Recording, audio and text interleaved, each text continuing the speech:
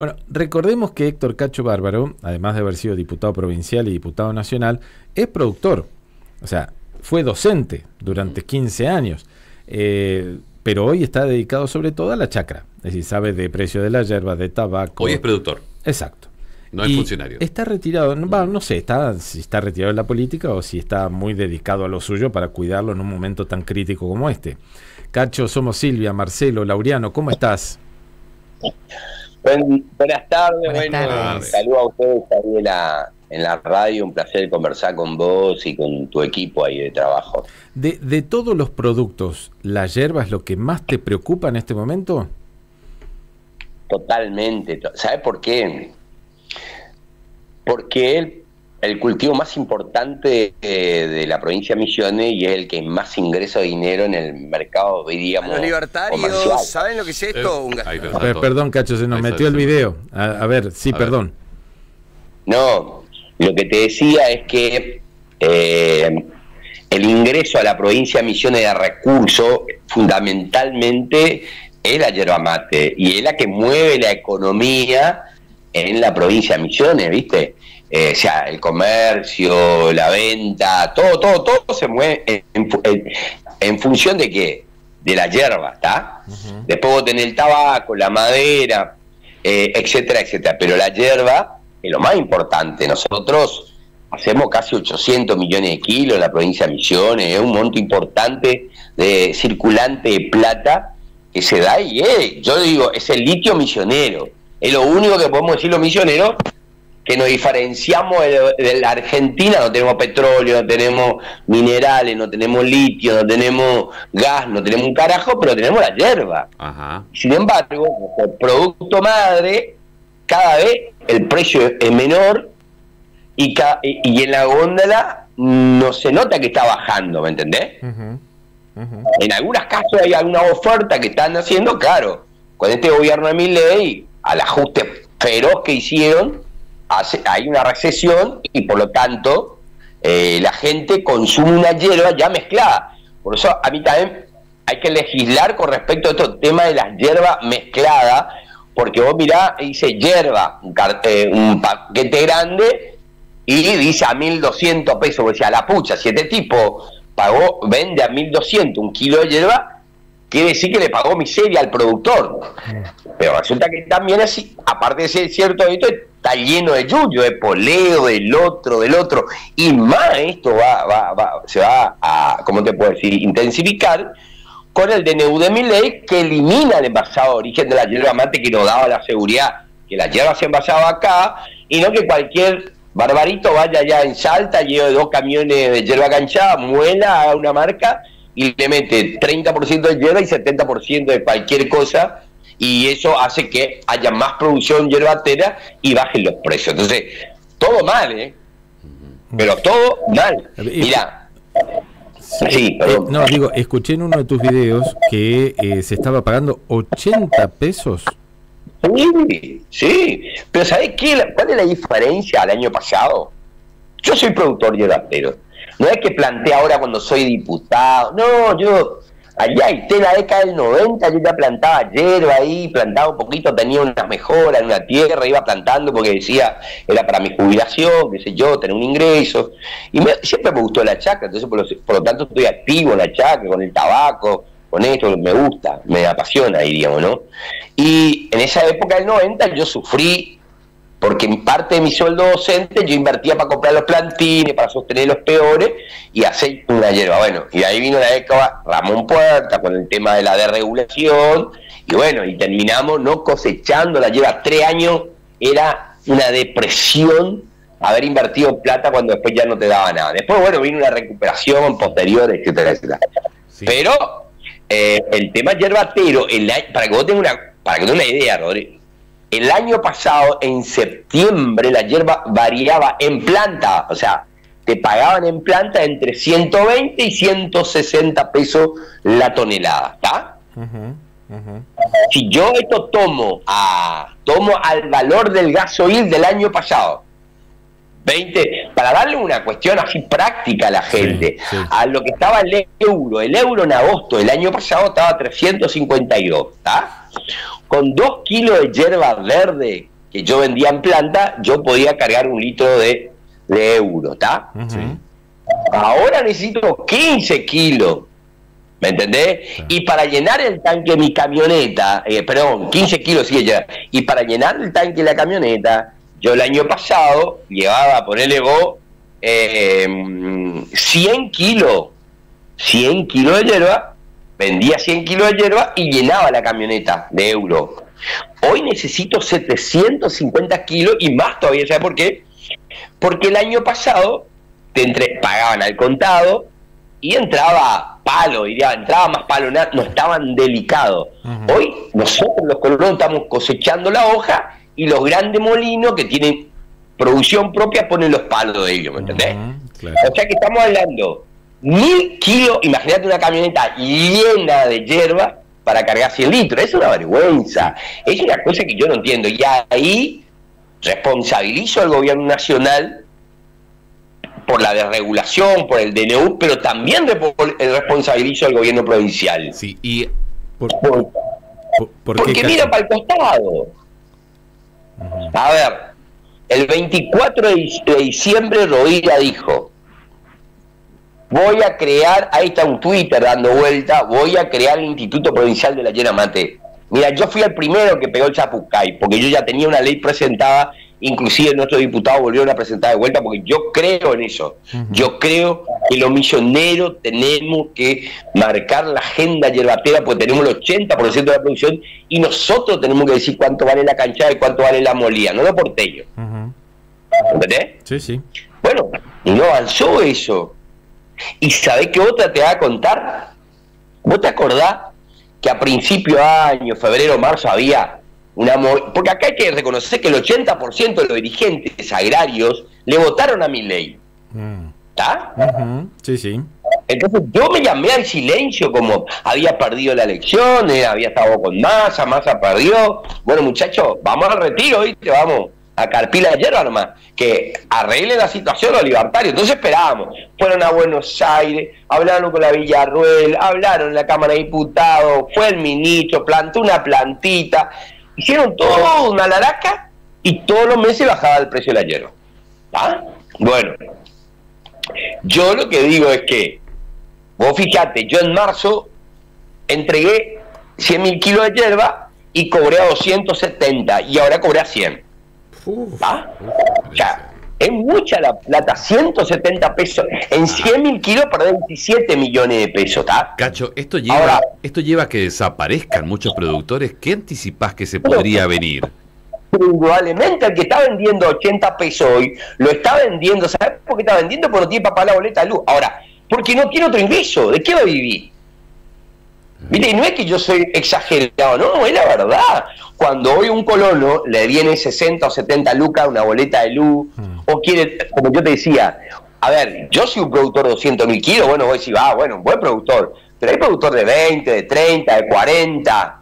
Imagínate que el año pasado vos hacías 100 mil kilos y podías ir una, a una agencia a comprar un auto medianamente el último modelo y veniste con tu auto a tu casa. Hoy no venís ni con una 125.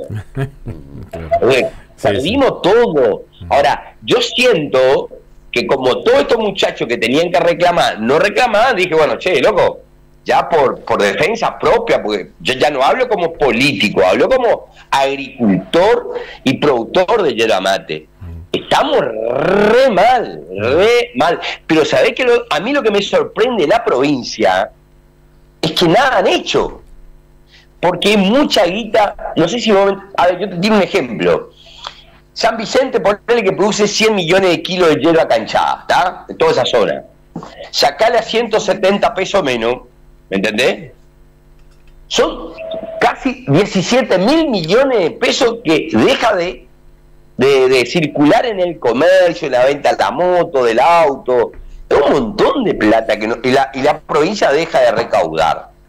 Mm. Entonces yo no entiendo la actitud de la provincia que mira que cada vez van por nuestra chacra. Esto ya, a ver, ya vivimos la década del 90, esto no es una noticia, si no anda a mirar la zona norte, eh, donde Alto Paraná se compró todas las tierras, boludo. ¿Por qué? Porque los colonos no valía el citro, no valía Nada. Hoy pasa lo mismo. La hierba. La mandioca el año pasado estaba a 60 pesos, ahora está a 30. El mamón, el mamón el año pasado estaba 60 pesos, bueno, ahora fue a 80, 90, pero te compraron la mitad del mamón porque el resto tuviste que tumbar. El porongo, la esponja, nada de eso vale. Entonces digo, ¿de qué hoy está viviendo el pequeño agricultor? Porque podemos hablar del tabaco después, que está con una situación complicada. Y vive de lo que el Estado le da. Pero a mí me molesta que muchos de estos que van todos los días al 10 al cajero a cobrar los beneficios que consiguieron con el gobierno peronista, en la jubilación, la moratoria jubilatoria, la asignación, el progresar, en la tarjeta dice, che, ah, estamos podridos estos peronchos que solamente usan el Estado y sin embargo el tipo es el primero que está en el cajero para cobrar. Cacho, eh, sobre todo pensando en el tema de la hierba, el INIM ya, ya no existe, ya no tiene sentido, no tiene razón de ser. No tiene razón de ser, no tiene. Por eso yo creo que eh, Rovira tiene que avanzar con el instituto y le vamos a acompañar, el partido agrario, los productores, le vamos a acompañar. Hay algunos sectores que dicen, no, otra vez Rovira quiere armar algo para quedarse. Yo creo que el mayor error que ellos hicieron, el mayor error que hicieron fue armar esa, ese monstruo allá en Andresito que no sirve para nada. Y gastaron 1.500 millones. Mm. Yo en su momento había hablado con Rovira cuando yo era diputado y presenté el centro de comercialización de la yerba y le expliqué cuál era mi idea y de qué teníamos que hacer. Bueno, esa misma idea la llevó Peterson allá en Andresito, pero está todo parado. O sea, hicieron un monstruo para nada de inversión de plata, porque además Vos tenés que tener esto en, la zona centro, no en, en, Andracito. Y allá está parado. Yo quiero ir a ver allá, a ver si me dejan entrar para ver qué, dónde está la plata que se invirtió de los misioneros ahí en ese lugar. Entonces digo, yo le pido, le ruego al gobierno de Pasa el Agua que intervengan en esta situación. Y este año está feo, vos vas a ver lo que va a pasar el año que viene. Mm. Es eh, eh, Cacho, ¿es cierto que los molinos ya tienen suficiente stock y que ni están pensando en levantar? yo lo que creo en esto, ¿sabes qué es? El año pasado, las grandes hipermercados tenían stock, ¿me entendés?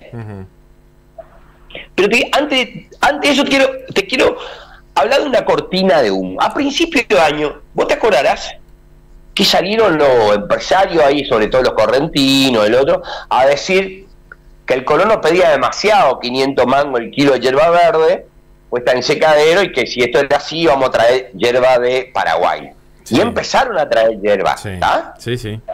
Vino dos millones de kilos, siempre vino hierba de Paraguay, de Brasil vía Uruguay, no, no, siempre hubo. Ponele que estos tipos compraron dos millones de kilos fue toda una cortina de humo para decir, che, mirá, bajen el las pretensiones ustedes los misioneros, porque si no vamos a traer toda la hierba a Paraguay no le vamos a comprar a ustedes. Mm. Y la gente se comió ese, ese humo y esa película, porque Paraguay tiene 30, 20, 30 millones de kilos de hierba canchá, no tiene nada, no nos alcanza a nosotros para 20 días con el consumo interno nuestro. Entonces todos creyeron, che, bueno, viste que si no vendemos la hierba van a comprar a Paraguay, cada Eso empezó así. Ahí empezó a bajar el precio de la hierba. ¿Qué hicieron los hipermercados para mí? Los tipos venían comprando y tenían stock. Y como en este modelo liberal de, regulación, los tipos dijeron, ¿sabes qué? Yo no. Como la inflación está bajando, mi ley apretó a todo el mundo y bajó la inflación, nosotros no vamos a comprar hierba, vamos a dejar, vamos a comprar lo básico y necesario. Y después le vamos a ir sacando cada vez más barata la, la, la hierba a, los molinos, al otro, al otro, y eso es lo que pasó. O sea, no bajaron en góndola. ¿Dónde está la transferencia de la plata? Si a mí me baja la plata, alguien tiene que llevarse la ganancia. ¿Cierto? Bueno, la ganancia puesta entre el molino y el hipermercado, no los secaderos. Los secaderos son víctimas también. Eh, Cacho, pensando sobre todo en lo que dijiste, ¿no? que la mayoría votó a mi ley, eh, que tiene esa visión este, antiperonista, pero digo, el bolsillo duele. ¿Por, ¿Por qué no se movilizan? ¿Porque los puede más eh, el hecho de decir nos equivocamos antes que defender su, su bolsillo? No, eso sí. Esto es parte de, de, de, de, a ver, ay, se creó, a través de las redes sociales, a través de los medios de comunicación nacionales, se, eh, se formó un pensamiento que yo le digo que le llenaron de mierda la cabeza a la gente, ¿viste? Yo digo esto, eh, diciéndole que el gobierno anterior era todo lo a ver, yo vi mi colonia, vivo acá en Colonia Alicia Aurora y, sé que la gente en la época de Néstor, de Cristina, mejoraron su calidad de vida, su casa de material, su camioneta, su tractor, todo, todo crecimos, no había una... Y ahora vos escuchás que los tipos te dicen, sí, lo que pasa es que ahora tenemos que ajustarnos para pagar la fiesta de lo que estaban antes. Claro, ellos entienden la fiesta, la asignación, la moratoria, eso para ellos es fiesta, ¿viste? Cuando los recursos van abajo. Ahora, el problema es que el que recibe el recurso del Estado cree que nosotros antes estábamos en una fiesta. No, no sé qué le está pasando, ¿viste? Es como hay un adormecimiento en la lucha agraria. Yo veo en las redes sociales, me recagaron a puteada, ¿eh? ah, que vos, viejo de mierda, que era terrible, ¿viste? Mm. Parásito, ni saben que yo ya dejé de ser diputado. No, no, a todos les contesté, pasé seis horas contestando. Cacho, Cacho, te pregunto, ya que estás sintetizando, resumiendo, pero, peronismo, kirchnerismo, justicialismo, con lo que pasó con Alberto ahora, ¿crees que anticipan mucho que es, bueno, pero es el fin de el peronismo, justicialismo, kirchnerismo. No, no, no, no, no, no, no, no, no es el fin. A ver, el peronismo, al peronismo, eh, yo no soy peronista, yo vengo del, radical, de una familia radical, me encanta el peronismo, me encanta un modelo de distribución de la riqueza, de la generación de laburo. No es que yo soy un fanático peronista que voy todos los días con el bombo a cantar la mancha peronista, no. veo modelos de diferente distribución. Entonces, yo creo que lo de Alberto, ¿a quién le sirvió? Le sirvió a mi ley, por supuesto. A ver, mi ley venía cayendo en la encuesta. ¿Está? Viste que él tenía 50 y pico, 45, 40, los negros ya estaban calentándose un poquito porque lo cobraban en dólares, la luz, el combustible, todo. Y necesitaba algo para reivindicarse otra vez Miley. Y surge el caso de Alberto Fernández, que hace que Miley de 40 vuelva a 50. Porque ¿qué es lo que pasó con esto? Acá, vos viste que siempre Miley estuvo en la vereda de la anti, eh, o sea, estuvo siempre diciendo, yo no soy político, los políticos son los peronistas, los castas, todo esto, yo no, yo soy presidente pero no soy político. Entonces esto sale a reivindicar lo que hizo Alberto, de que decía una cosa de noche en un acto y a la noche iba, según dicen, y le violentaba a su mujer. Eso tiene que probar la justicia. Entonces ahí es como que la gente dice, che, viste que mi ley tiene razón, los políticos son todos iguales, él no es político y todos son unos mentirosos que dicen unas cosas. Bueno, no mató lo Alberto. Yo creo que esto venía preparado hace cuatro o cinco meses, porque primero fue lo de Loan, eh, que lamentablemente no encontraron, pero esto, vos prendías el televisor, Loa, Loa, Loa, Loa, bueno, esto después vino lo de Maduro, le salvó al, al, gobernador de Corrientes y ahora había que eh, poner otra cortina más, que es lo de la Fabiola Yale, que sale a denunciar justo en este momento. No estoy justificando lo de Alberto, o sea, si Alberto golpeó a su compañera, tiene que ir preso. Yo, yo todavía no puedo creer que Alberto sea un tipo violento. Sí sé que era mujeriego y todo el mundo sabíamos que el tipo era mujeriego ¿Me entendés? No es que lo enteramos hoy, por lo menos se contaba en, así en la intimidad que el tipo era un lagarto, como decimos nosotros, ¿me entendés? Ahora, de lagarto a golpeador hay una gran diferencia, ¿me entendés? Entonces nos va a costar todo, nos va a costar todo recuperarlo, porque lo Alberto terminó un poco con eso de la, eh, justamente lo de la antipolítica. Eh, Cacho, ¿nunca, ¿nunca escuchaste en, en, los ambientes políticos, nunca hablaste con Fabiola como para que te dijera, che, eh, Alberto, me levantó la mano? No, vos sabés que estuve en el acto cuando vino Fabiola ahí en Misiones, que te acuerdas que ahí a partir del día anterior la había golpeado en la cama. Yo no la vi, no sé, estuve ese día. Fue la costanera, un acto que vino ella. Claro, no pude ni hablar porque tenía 28 custodias ahí pero no, nunca tuve una charla con, con Fabiola, pero me parece a mí, me parece a mí que esto es, yo voy hacia atrás, 2021, fiesta de olivo, eso fue en el 21, ¿cuándo salió al público? 40 días antes de la elección. Entonces me parece que esto lo tenían guardado en una gavetita y viendo la economía cómo avanzaba. Bueno, como la economía iba para abajo, digo, che, ¿qué hacemos? Sáquenlo de Fabiola. Mañana van a sacar, no sé, le van a traer a Fabiola y decir sí, porque yo veía a Cristina que venía acá. O sea, estamos en eso, ¿viste? No, no, no estamos discutiendo lo que les pasa a la gente. Vos prendés la televisión y vos mirás la acción más y tenés más, más el otro, yo no Una hora hablando de los problemas domésticos del expresidente, ya, que se arregle la justicia, loco, pero queremos ver el tema económico. A mí, a mí me molesta que yo haya perdido tanta plata en dos meses por, porque me pagaron menos la hierba, pero no, parece que todos estamos discutiendo si Alberto era, si Alberto se mandó esa gran cana de ser un tipo violento. No lo veo, pero bueno, la justicia irá, ¿no? Cacho, un abrazo grande y gracias por habernos atendido. No, un saludo a ustedes y la verdad que eh, yo creo, y de corazón le digo, eh, y le digo a todo el mundo, la única solución que hay para el sector llevatero para terminar con esto, viste, cinco años por ahí buen precio, cinco años mal precio, es crear el Instituto Provincial de la Yerba Mate. Nosotros tenemos que fijar el precio de la cancha y sentarnos arriba. Y el que quiere tomar mate va a tener que pagar lo que corresponde. Así como nosotros pagamos la leche, pagamos el gasoil, pagamos lo que nos fijan, bueno, nosotros también, los tenemos que defender este producto que es nuestro y que es lo único que tenemos para sentar en una mesa y discutir con el gobierno nacional. Un abrazo, buen fin de semana. Chau, chau, gracias. Cacho Bárbaro, eh, vos lo escuchás y no tiene filtros. Es así, Cacho eh, te dice lo que piensa. Eh, Gustavo Espacio dice, tiene razón Cacho, que se va a calentar el Estado si él sigue facturando igual, se aumentó todo impuesto desde la estampilla al monotributo y la responsabilidad gremial que todo paga el productor.